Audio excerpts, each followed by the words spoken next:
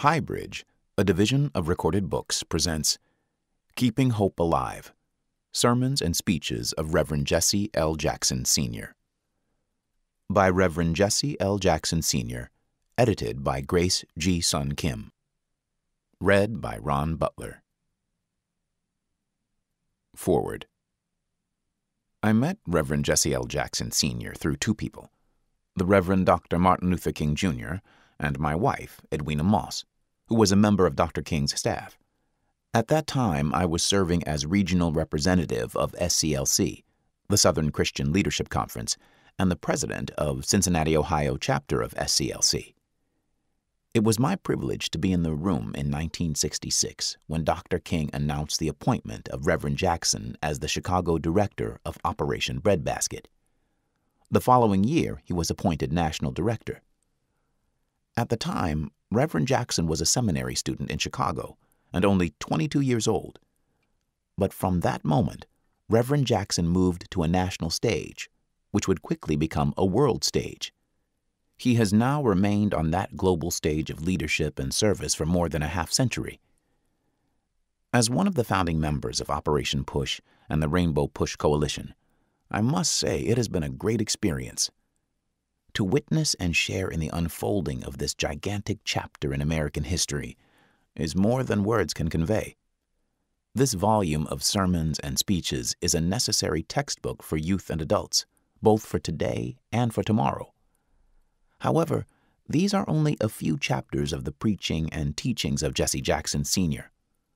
All the workshops, dialogues, Saturday morning meetings, and messages of Reverend Jackson cannot be contained in one volume. His ministry is global. His leadership is a global classroom. If you took a look at the time, place, events, and circumstances where Reverend Jackson has spoken and preached, these alone will give a profound overview of the height, breadth, and depth of his leadership. Reverend Jackson's two presidential campaigns, in 1984 and 1988, registered millions of voters and placed scores of women and men in decisive positions that bear fruits of liberation and inclusion at this very hour. But I remember specific events that reflected the measure of the man. I recall in 1983, during the first presidential campaign, when Reverend Jackson called a group of us together and expressed the need for someone to seek the release of Robert Goodman a Navy lieutenant who had been captured after his plane was shot down over Syria. Reverend Jackson felt that the efforts to get Lieutenant Goodman released were inadequate, and that the longer he remained in the hands of the Syrian government, the more dangerous his situation would become. As the discussion proceeded, there was strong agreement with Reverend Jackson's moral position, but some expressed a dual concern. One, the danger facing Lieutenant Goodman was imminent. Second, there was the danger facing both Lieutenant Goodman and Reverend Jackson if Reverend Jackson flew to Damascus to seek Lieutenant Goodman's release. Reverend Jackson felt the situation was greater than his personal safety or his political future. He summarized the situation succinctly. If we seek his release, we could fail. If we do not seek his release, we cannot succeed in winning his release. It is better to fail trying to free Lieutenant Goodman than to face the shame and failure of not even trying. The meeting closed with fervent prayers and profound support to seek Lieutenant Goodman's release. It ended with Reverend Jackson leading a delegation to Damascus and bringing Lieutenant Goodman home. This has been the story of Reverend Jackson's career. I borrow from the late Dr. Vernon Johns. When the possible is inadequate, experiment with the impossible. This is the theme flowing through Reverend Jackson's ministry and messages. One should not be afraid to experiment with the impossible. This is what the ministry calls us to do. This is what the calling of God places upon our lives. In the sermons and addresses selected in this book, there is a continuing call, a trumpet sound for action, but not chaotic, undisciplined action devoid of moral and spiritual content. The call is for action anchored in love and justice designed for transformational change. Change that empowers the weak, disturbs the powerful, heals the wounded, and liberates the oppressed. This is true whether he is addressing an audience in Soweto, South Africa, or in the New Covenant Baptist Church in Orlando, Florida, in Bangkok, Athens, New Delhi, or Saturday morning in Chicago. In all these talks, there is a consistent and powerful message of hope, justice, equality, liberation, equity, human rights, and civil rights. Whether at home or abroad, that theme is expressed with a powerful urgency and consistency.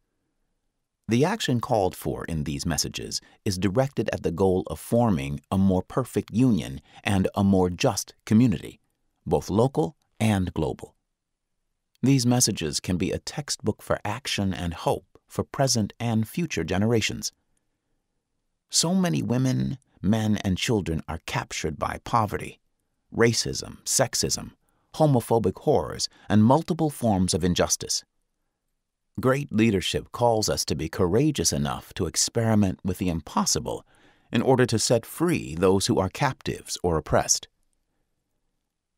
This volume of messages is an open door to a great mansion of many rooms filled with information, gospel truth, challenge, and hope. Far beyond the time of the leader and author of these words, there will be, I believe, a hunger and thirst to know more about him, his era, his service, sacrifices, and courageous contributions against dangerous odds. Reverend Jackson is an apostle of hope, a disciple of truth, a prophet of liberation. Reverend Dr. Otis Moss, Jr.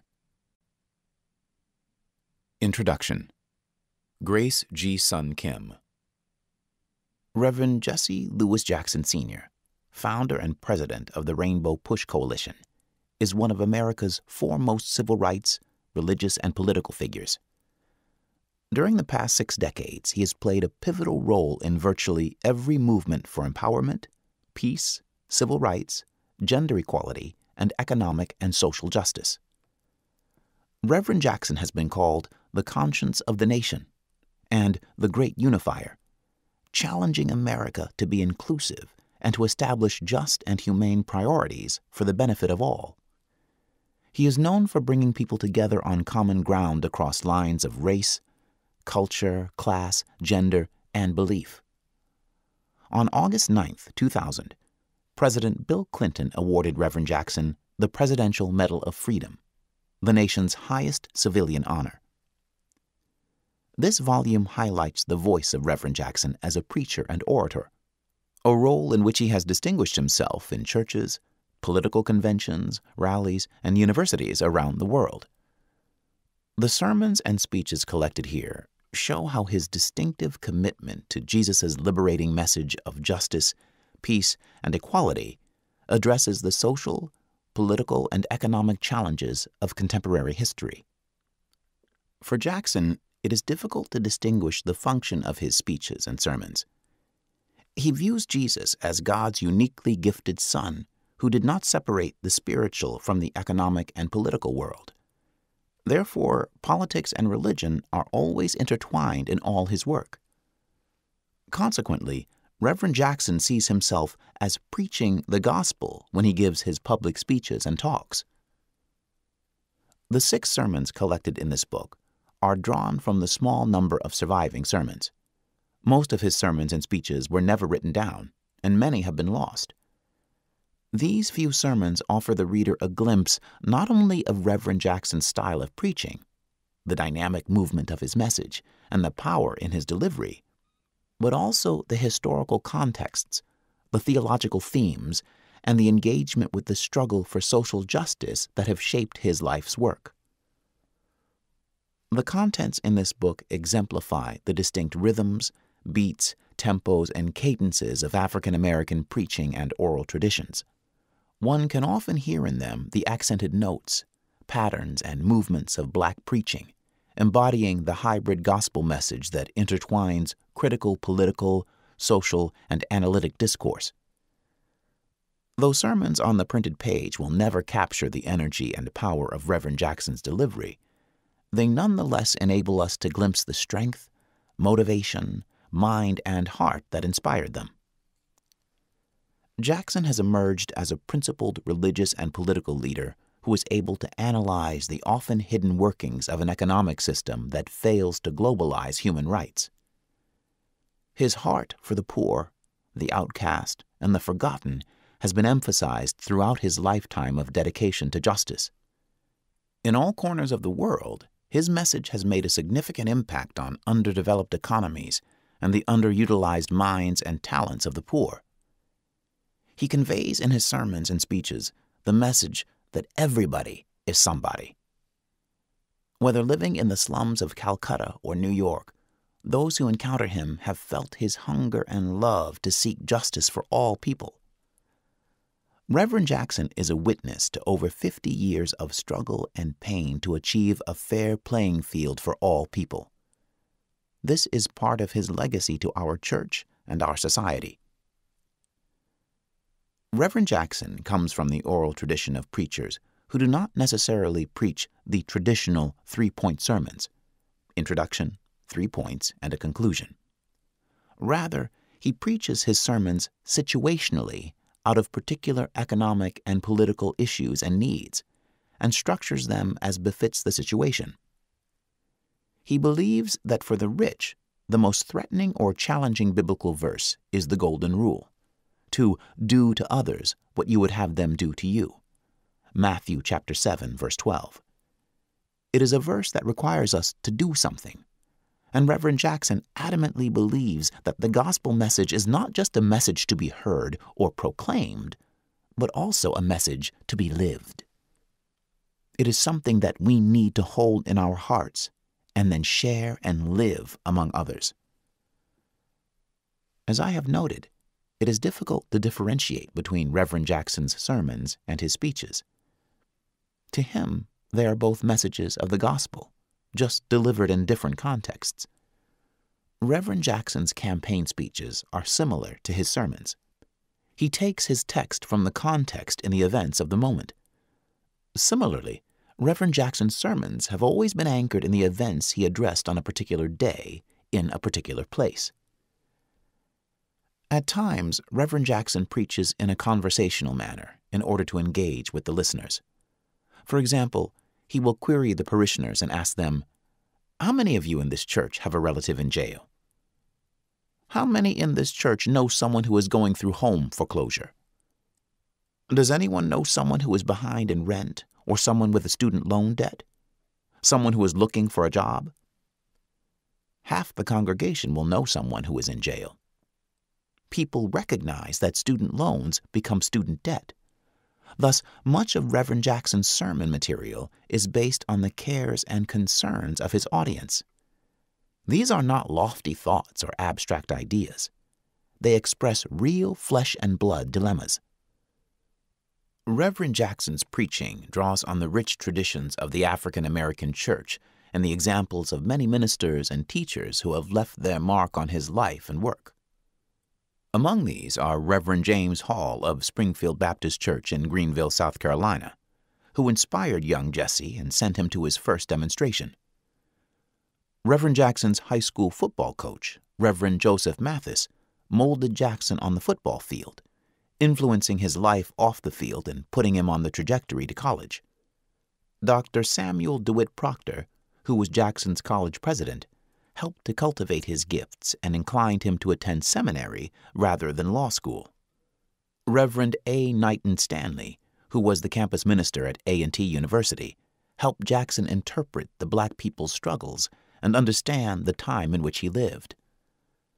Reverend Otis Moss, Jr., who knew Dr. King before Montgomery, was a profound preacher of our time and influenced Reverend Jackson's preaching and the speeches that he gave. Dr. Benjamin Mays, president of Morehouse College, was Jackson's frat brother and helped him through critique and inspiration. Dr. Howard Thurman, a mystic, philosopher, writer, world citizen with whom Jackson spent countless hours together discussing theology and civil rights, made an impact on his theological journey. His parents' sense of dignity and social justice also shaped Jackson's way of life. All these people were early forces in his life. The example of Nelson Mandela, the South African freedom fighter, runs through many of these talks. During Mandela's 27 years in prison, he served as a distant source of inspiration. After Mandela's release, the two men met and became friends.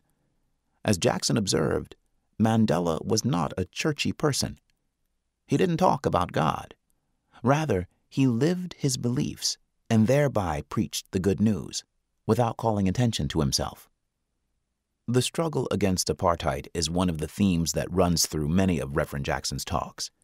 And later, the victorious breakthrough to freedom became one of his touchstones for the power of freedom and justice to overcome oppression. As Dr. King used to say, the arc of the universe is long, but it bends toward justice. Reverend Jackson would speak at Mandela's funeral, and he continues to invoke his example. But there is no doubt that the decisive influence for Reverend Jackson came from his encounter with the Reverend Martin Luther King Jr. Jackson spent less time with Dr. King than others who worked closely with him in the South. The Southern Christian Leadership Conference, SCLC, was based in Atlanta, and Jackson's home was in Chicago. However, the speeches and teachings of Dr. King deeply penetrated Reverend Jackson's work, thoughts, aspirations, and visions. He tried to live out Dr. King's work and fulfill the assignment that Dr. King had given him as National Director of Operation Breadbasket, and in such a manner continue his legacy. Many of his talks reference intimate moments with Dr. King including the stress and doubts he experienced in his last months as he confronted the ongoing war in Vietnam, the falling away of many friends and supporters, and the violence that threatened to erupt from frustrated hopes. As Jackson recalls, King's struggles paralleled the doubts and anguish that Jesus felt as he approached his own passion in Jerusalem. And like Jesus, King somehow found the courage and the faith to go forward. Dr. King traveled to Memphis, Tennessee to support a strike by the city's African American sanitation workers. On April 4, 1968, Dr. King was at the Lorraine Motel getting ready to go to supper.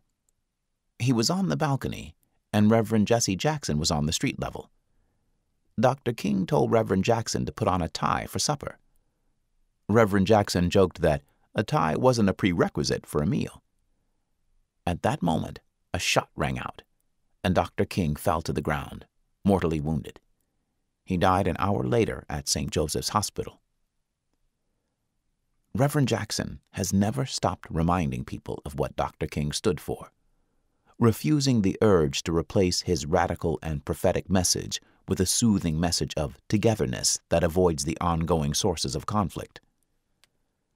Reverend Jackson reflects that we love martyrs, but not marchers Martyrs are idolized because they can't put pressure on us to act or do anything.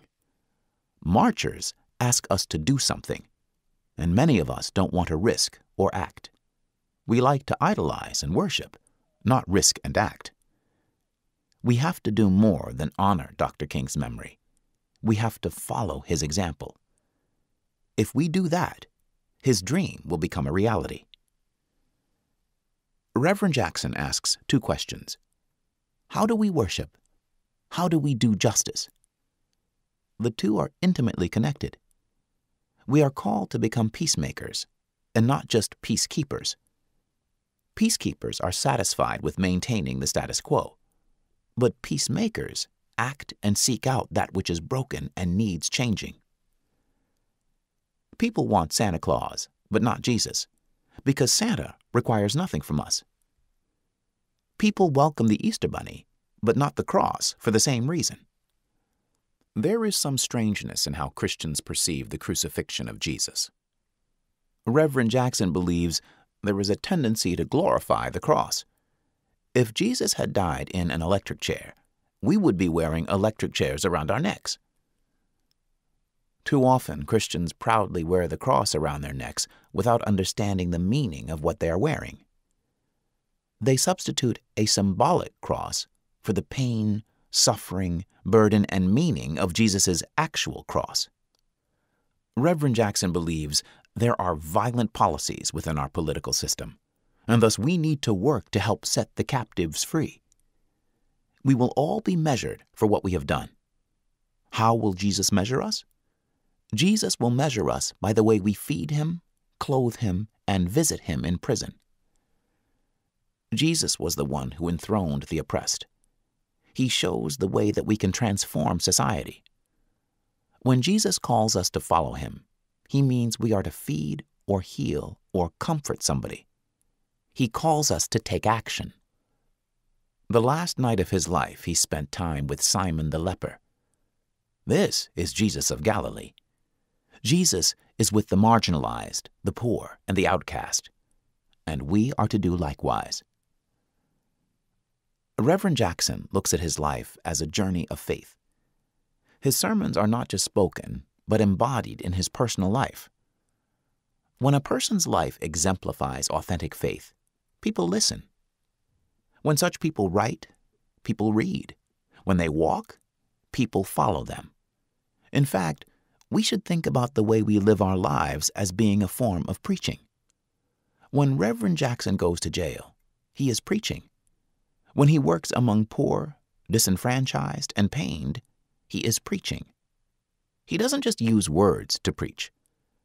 When we follow that example, our lives and lifestyles become our sermons. The Word became flesh, John chapter 1 verse 14. Our flesh becomes our words. By our lives, we preach. But it can be a struggle to live out a sermon. Some leaders talk and speak, while other leaders reflect. Some lead by the example of their actions, and others, like Reverend Jesse Jackson, not only talk and preach about justice, but also embody justice and live it faithfully. He walks the walk of his commitments. Reverend Jackson immersed himself into the global peace and justice and civil rights movements in his college years and has remained an active leader in these and other causes to this moment. His life of service to racial, gender, and economic justice provides a strong example for many to follow, admire, and appreciate. As he has lived out his commitment to civil rights, he has also carved out an admirable legacy in American and world history. Reverend Jackson's sermons and speeches focus on equality, fairness, justice, and civil rights. In both his words and actions, he proclaims that all people are equal in God's eyes and all need to be free and have equal rights. He has put his life into a movement of working to make that proclamation a reality. It's a movement to help build the kingdom of God on earth as it is in heaven. Without hope, we will find no reason to continue our work for justice and equality. Hope is the message that comes through in his sermons and speeches. Reverend Jackson proclaims and lives the need to keep hope alive. I hope that the selection of a few sermons and speeches will provide some insight into Reverend Jackson's life and theological journey. It has been a long and blessed journey. He has had his share of tremendous joy and sorrow. As he marches along the path of civil rights activism, he continues to touch countless lives, move stones that sometimes seem unmovable, helps to clear a path for the marginalized, and fights to create a level playing field for all. For this, we owe him a great debt of gratitude. Biography Born on October 8, 1941, in Greenville, South Carolina, Jesse Lewis Jackson Sr. graduated from local public schools and enrolled in the University of Illinois on a football scholarship.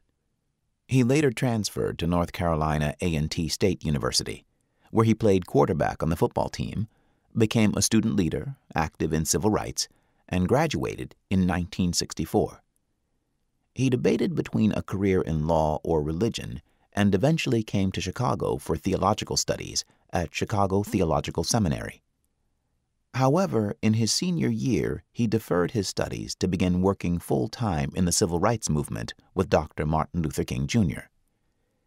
He was ordained on June 30, 1968, by Reverend Clay Evans, completed his work, and received his Master of Divinity degree from Chicago Theological Seminary in 2000. Reverend Jackson began his activism as a student in the summer of 1960, seeking to desegregate the local public library in Greenville, and then as a leader in the sit in movement. In 1965, he became a full time organizer for the Southern Christian Leadership Conference, SCLC. He was soon appointed by Dr. Martin Luther King Jr. to direct the Chicago Operation Breadbasket program, followed in August 1967 by his appointment, in which would be Dr. King's last national appointment, as National Director of Operation Breadbasket. In December of 1971, Reverend Jackson founded Operation Push, People United to Serve Humanity, in Chicago, Illinois. The goals of Operation Push were economic empowerment and expanding educational, business, and employment opportunities for the disadvantaged, women, and people of color. Reverend Jackson was present at the Lorraine Motel on April 4, 1968, when Dr. King was assassinated. The impact of King's work and sacrifice has remained at the forefront of his subsequent work for peace, social justice, economic empowerment of the poor, and human rights. He has conducted that work on the local, national, and international stage, as well as in the political arena. In 1984 and 1988, he pursued presidential campaigns on the Democratic Party ticket. His 1984 campaign registered over 1 million new voters, won 3.5 million votes, and helped the Democratic Party regain control of the Senate in 1986. His 1988 campaign registered over 2 million new voters, won over 7 million votes, and helped boost hundreds of local, county, state, and federal elected officials into office. Additionally, he won historic victories, coming in first or second in 46 out of 56 primary contests. His clear, progressive agenda and his ability to build an unprecedented multiracial and multi-religious coalition inspired millions to join the political process. In December 1984, Reverend Jackson founded the National Rainbow Coalition, a social justice organization based in Washington, D.C., devoted to political empowerment, issue education, and changing public policy. In September of 1996, the political focus of the Rainbow Coalition and the private sector, economic focus of Operation Push, merged to form the Rainbow Push Coalition to continue the work of both organizations and to maximize resources. On the international stage, Reverend Jackson became a strong leader in the struggle against apartheid in South Africa. On November 2, 1985, Reverend Jackson joined with Oliver Tambo, Bishop Trevor Huddleston, and others at the 120,000 strong demonstration in London's Trafalgar Square to protest apartheid in South Africa and call on the South African government to free Nelson Mandela. He later met with Prime Minister Margaret Thatcher, appealing to her to drop Britain's support for apartheid, and with Pope John Paul II, urging him to speak out against apartheid in South Africa. For his work in human and civil rights and nonviolent social change, Reverend Jackson has received more than 40 honorary doctorate degrees and frequently lectures at major colleges and universities around the world. In October 1997, Reverend Jackson was appointed by President Bill Clinton and Secretary of State Madeleine Albright as the special envoy of the President and Secretary of State for the promotion of democracy in Africa he has continued to be a leading advocate for a variety of public policy issues, including universal health care. He was the first presidential candidate to advocate for such a system, equal administration of justice in all communities, sufficient funding for enforcement of civil rights laws, for adding an individual right to vote constitutional amendment, such an explicit right is not in the Constitution and for increased attention to business investment in underserved domestic communities, a theme that the Clinton administration picked up as the New Markets Initiative. Reverend Jackson also supports a broad range of policies to improve education, eliminate poverty, and remind everyone that we are one big tent America, with room for all and none left in the margins. A current campaign is restructure loans, don't foreclose on homes, tackling today's housing crisis and the economic and political danger of disproportionate income and wealth, which is currently gripping the world. As a highly respected and trusted world leader, Reverend Jackson has acted many times as an international diplomat in sensitive situations. For example, in 1984, Reverend Jackson secured the release of captured Navy Lieutenant Robert Goodman from Syria and the release of 48 Cuban and Cuban American prisoners in Cuba. He was the first American to bring home citizens of the United Kingdom, France, America, and other countries who were being held as human shields by Saddam Hussein in Kuwait and Iraq in 1990. In 1999, Reverend Jackson negotiated the release of U.S. soldiers held hostage in Kosovo. In August 2000, Reverend Jackson helped negotiate the release of four journalists held in Liberia who were working on a documentary for Britain's Channel 4. A hallmark of Reverend Jackson's work has been his commitment to youth. He has visited thousands of high schools, colleges, universities, and correctional facilities, encouraging excellence, inspiring hope, and challenging young people to study diligently and stay drug free. Reverend Jackson has also been a consistent and vigorous supporter of the labor movement in the United States and around the world.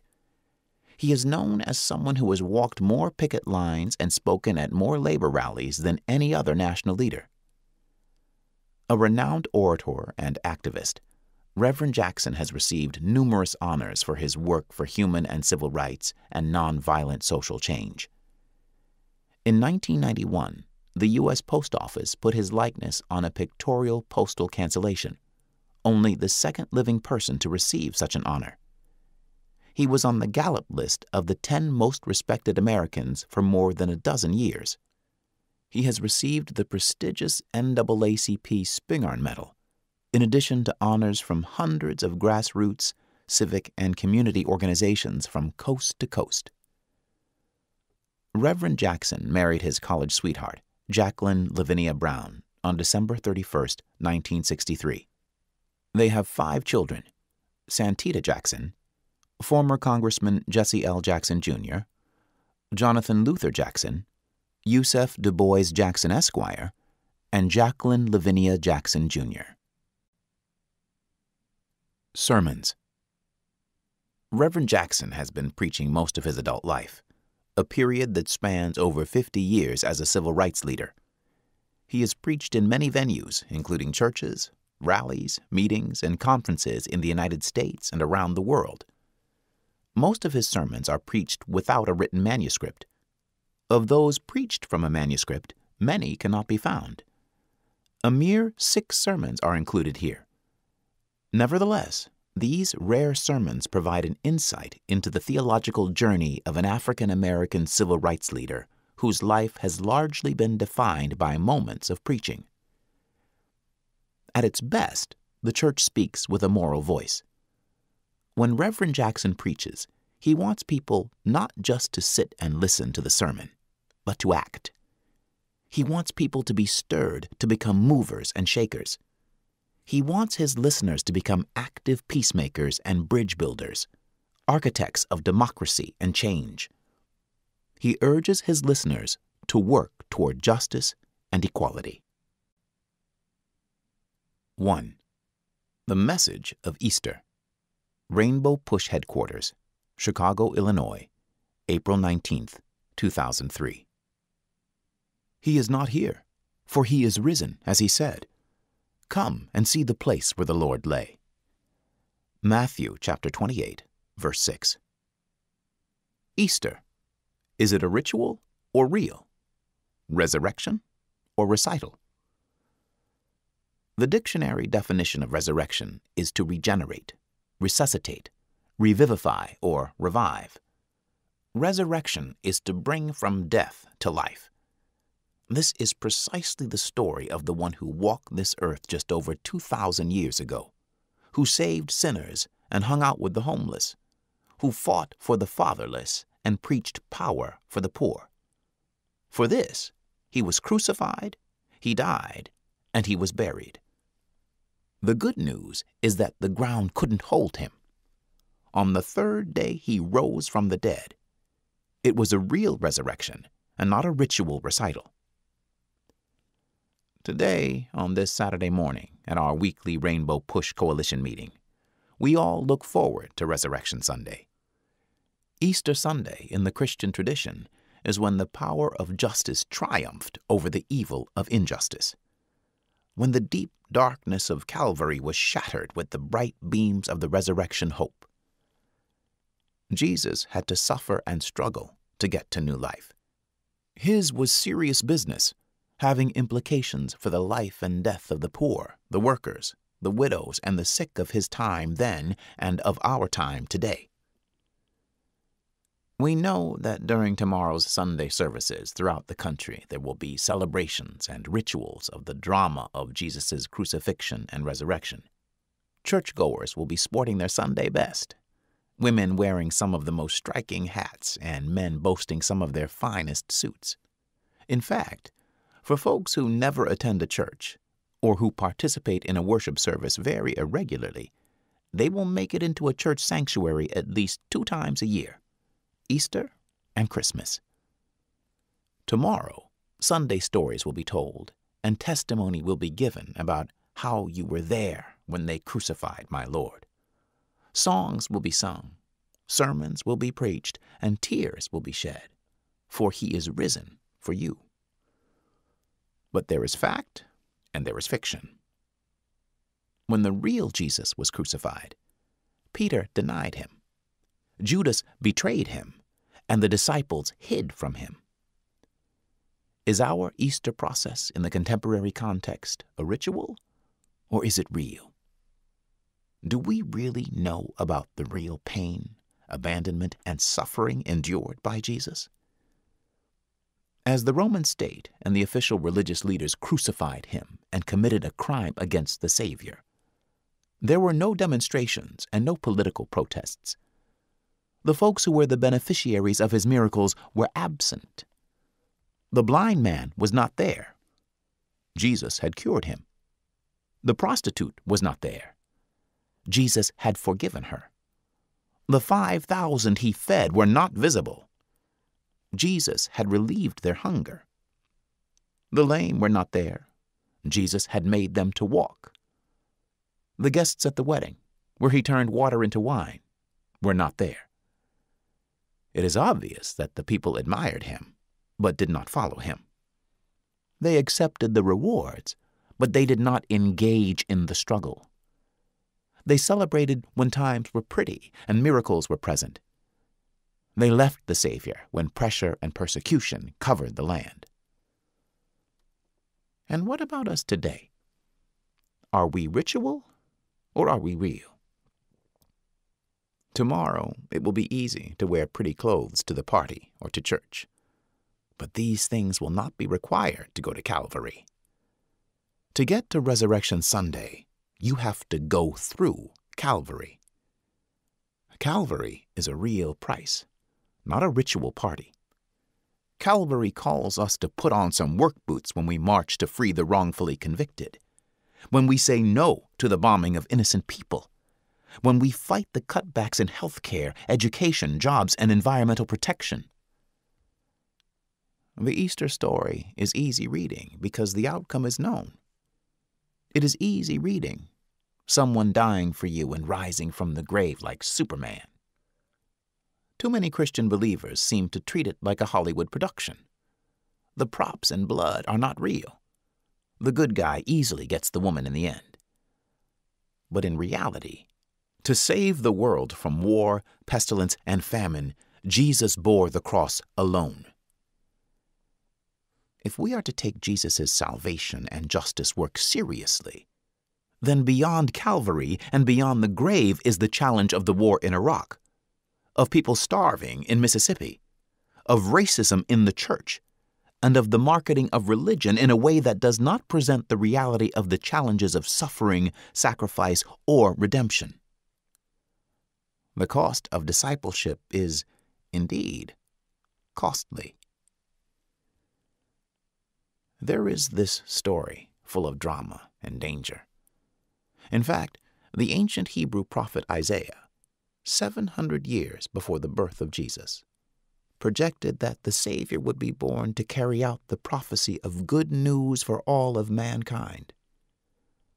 The incarnation of Jesus in the world was filled with drama and danger, wrought with life and death risk. Jesus was born, despite the fact that Herod had put forth a decree throughout the land demanding the violent murder of all firstborn children to prevent the realization of the prophecy. Jesus grew older and the brilliance of his salvation and justice making work on earth shone forth. As he performed successful miracles, he faced and overcame the constant spying, taunting, and entrapment of the Sadducees and the Pharisees. Betrayed by one of his disciples, captured and crucified on an old rugged cross, Jesus was the victim of the most historic lynching on a tree. Throughout his ministry, he remained faithful despite despicable deeds and a disgusting death carried out by those who conspired against him. Jesus knew he must be a witness to and a servant of God's will. All the while, he endured much pain.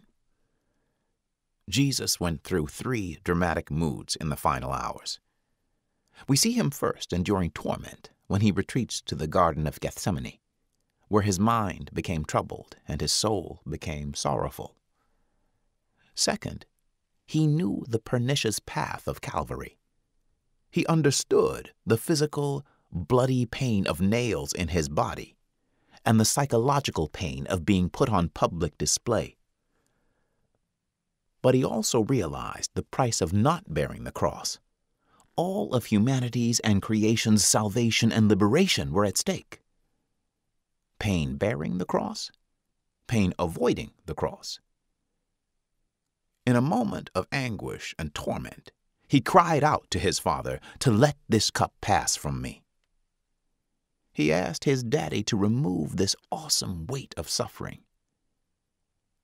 And third, even at that moment of praying to God, and even when Jesus' human side became weakened and weary, he still followed his faith to the end and gasped out, Nevertheless, not as I will, but as thou wilt. Before Jesus got to Hallelujah Resurrection, before he got to glorious Easter Sunday, he understood the rocky road to death. And then he could fulfill the prophecy to save the ungrateful. And then he himself would be saved by the Father raised into heaven to sit at his right hand. To ultimately be in good standing with the Father, like Jesus, you have to go through some drama and danger. We all want the resurrection. We all want the new life. And we all want the new hope. But remember what Frederick Douglass said. The whole history of the progress of human liberty shows that all concessions yet made to her august claims have been born of earnest struggle. If there is no struggle, there is no progress. Those who profess to favor freedom and yet deprecate agitation are men who want crops without plowing up the ground. They want rain without thunder and lightning. They want the ocean without the awful roar of its many waters. Power concedes nothing without a demand. It never did, and it never will. Only the righteous struggle leads to a righteous life. To get to new life, in Matthew chapter 25, verses 36 through 46, Jesus gives us the criteria. And those criteria for new hope in good standing with the Father are Did we clothe the naked? Did we visit the prisoner? Did we tend to the sick? Did we welcome the stranger? Did we give water to the thirsty? And did we provide shelter to the homeless? Jesus called these folk the least of these. Like him, they were victims of Roman occupation, endured extreme poverty, and were despised by the official temple leadership. Crucifixion precedes the resurrection. All of this is real, not ritual or play acting. But folks spending all of their money on superficial symbols and clothes to be seen in an Easter festivity are play acting. All of those who sponsor Christmas and Easter parades don't believe in either miracle. They don't have faith in the birth of the Savior, which is Christmas. Real faith is faith in the real man Jesus who worked this earth. Real faith is faith in the tumultuous circumstances of his birth. Herod had proclaimed a genocidal order to kill all children born male. If found, baby Jesus would have been murdered. His parents, Mary and Joseph, had to hide and disguise themselves and suffer danger as they secretly escaped to Egypt as refugees, not as forced immigrants looking for a better life for a child, but as political refugees trying to save the life of a child. This is the true story of the birth of the Savior. This is Christmas faith. The superficial believers don't have faith in the resurrection, which is Easter. Graveyards cannot contain a bloodied body removed from a rugged cross. That is why Easter is a costly redemption. We are redeemed after a sacrificial struggle with principalities and powers. Putting Nelson Mandela in a tomb empowered the struggle for a new South Africa. Killing Martin Luther King Jr. at 39 empowered several generations of freedom fighters. Killing Emmett Till at 14 empowered the Montgomery bus boycott. Righteous marchers are often resurrected martyrs. This is Easter faith.